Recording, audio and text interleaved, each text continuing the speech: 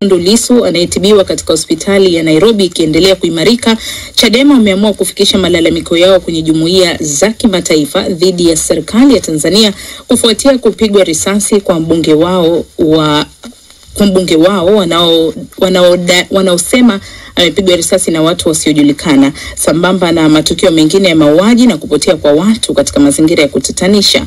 Mwandishi wetu Doto Bulendu alimtembelea lisu hospitalini jijini Nairobi na ametuandalia taarifa hii. Haya imesemwa na mwenyekiti wa taifa wa Chadema Freeman Mbowe hapa Nairobi katika mahojiano maalumu na Deutsche Welle.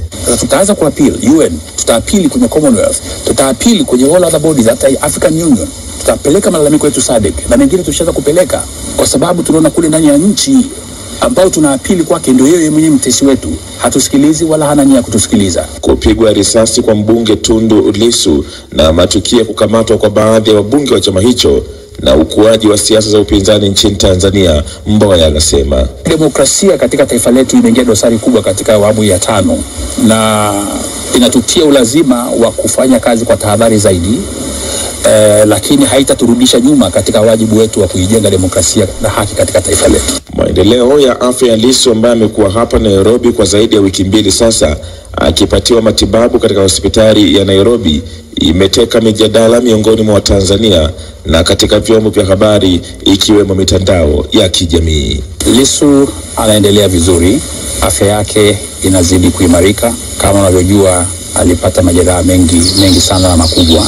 Kwa hiyo kwa vyovyote matibabu yake yatakuwa ni ya muda mrefu kuliko muda mfupi. Kila siku anapitia hatua mpya ya matibabu ikiwemo upasuaji wa njia mbalimbali lakini kwa ujumla, kwa kweli anaendelea vizuri na madaktari wanamfanyia kazi ya ziada sana.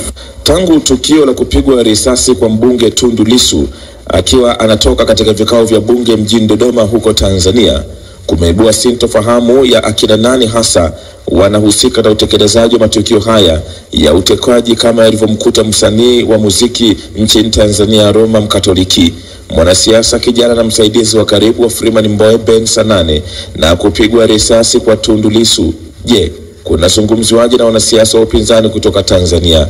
John Heche ni mbunge wa jimbo la Tarime vijijini huko Tanzania. hao watu wanajulikana, na ndio maana Ben Sanane aliripoti polisi na, na kumbukumbu zipo, amefungua jarada kituo cha polisi akisema kuna mtu amemtishia, akatoa namba yake ya simu. Ben Sanane amepotea mpaka leo. Kwa nini usiseme hao watu wanajulikana? Nikiripoti kutoka Nairobi nchini Kenya kwa niaba ya Deutsche Welle, mimi ni Doto Bulendu.